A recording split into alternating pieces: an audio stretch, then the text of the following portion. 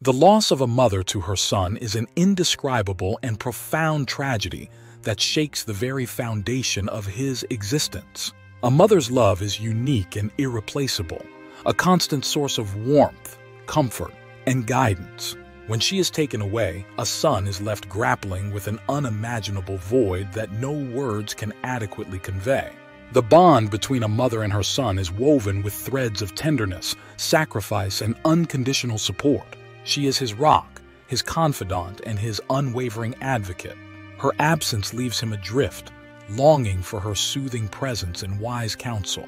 The pain of her loss cuts deep, searing through his soul and rendering him forever changed. In the wake of his mother's passing, the son is consumed by a range of emotions. Grief washes over him like a relentless tide, pulling him into depths of sorrow he never knew existed. Waves of sadness, anger, and disbelief crash upon him, threatening to engulf his very being. He yearns for her comforting embrace, her reassuring voice, and the love that flowed effortlessly between them. Memories become both a solace and a source of anguish. They are a testament to the beautiful moments they shared, but also a reminder of what has been irrevocably lost. The son clings to those memories, treasuring them like precious gems, for they are all he has left of his beloved mother. As he navigates the turbulent sea of grief, the son must find a way to honor his mother's memory and find healing. He seeks solace in the embrace of loved ones, finding strength in their shared sorrow. Gradually, he learns to carry his mother's spirit within him, drawing on her love and wisdom to navigate the challenges that lie ahead. Mom, One beautiful morning, two years after losing her son in a tragic accident, a widow heard someone knock on her door and call her Mom! Death time, 12 p.m. That is when Jane and Sean Wiley lost their only child, John. He was transported to the hospital directly from school after being stung by many bees and going into anaphylactic shock. He had messed up a beehive that was growing on the school grounds, and the angry bees attacked him, putting their own lives at risk as well as his. When Jane and her husband were recalled, they were in the midst of attempting to give John a brother. The news had hit them like a bucket of cold water, and they had dressed quickly before driving to the hospital. I'm afraid I have terrible news for Miss Wiley. Your kid was in a severe accident and has been taken to the hospital, the school principal informed her. The frightened parents came just as the doctors had given up hope of saving their son. Jane raced up to the doctor as he left the ER and grabbed him. You need to get back in there and try again, she cried, frantically shaking him. Her husband was there in an instant, yanking her away from the guy while trying his best to keep himself together. It's done, Jane, he croaked, tears welling up in his eyes as he gazed at his deceased son's corpse. That tragedy rocked the marriage, and it took them almost a year merely to clean up his room.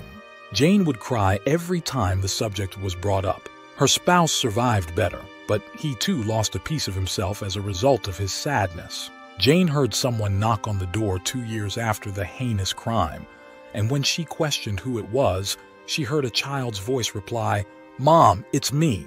Jane realized it couldn't be her kid, but she nevertheless raced to the front door. Nobody was there, but as she glanced down, she found a little message sent to her and her husband. Did I just make it up? She pondered.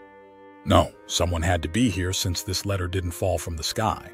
She glanced around again for anything out of the ordinary, but when she couldn't find anything, she picked up the envelope and went back inside. Inside the mail was a letter with the address 813 Atwood Ave. What is that? Her husband said, and Jane abruptly opened her eyes. It had all been a nightmare.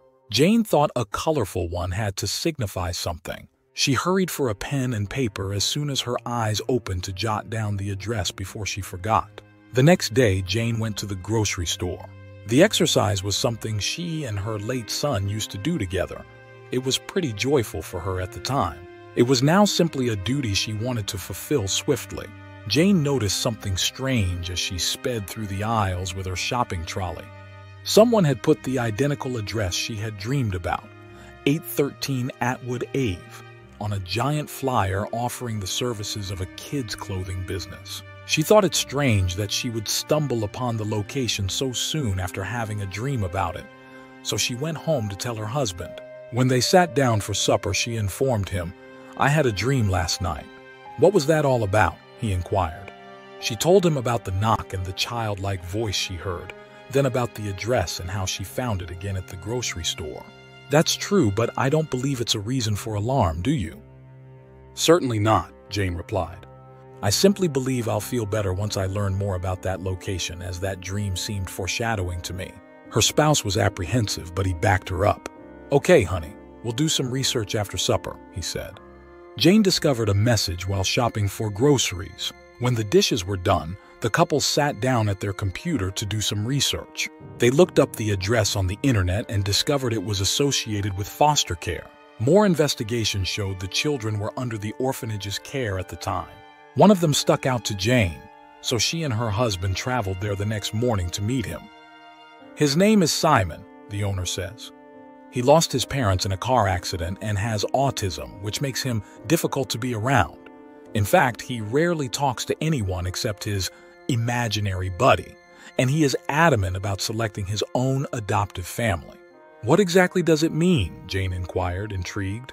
Jane informed her husband about her dream and what she saw at the supermarket. That implies Simon is doing the adopting here, not you two. We're not here to... Sean began to speak, but a sharp punch from his wife hushed him. We'd want to meet this youngster, Jane said. When they entered the room and Jane saw Simon, she realized why she had had the dream. The youngster needed a place to live. The orphanage's founder, Mia Cochran, excused them so they could spend time alone with the youngster. Simon glanced up from the toys he was playing with as soon as she departed. My buddy thinks you're kind folks, and he doesn't want you to be alone much longer. Jane and Sean were taken aback by his statements. Simon approached Jane after seeing her and her spouse. Is that your friend? Sean inquired. Certainly, my buddy. Do you also not believe me? Simon inquired. We do, honey, Jane began to say.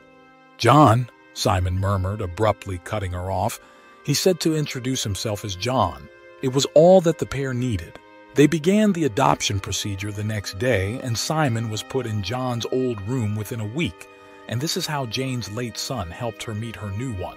Jane heard a tap on the door again one day and a voice say, Mom, it's me.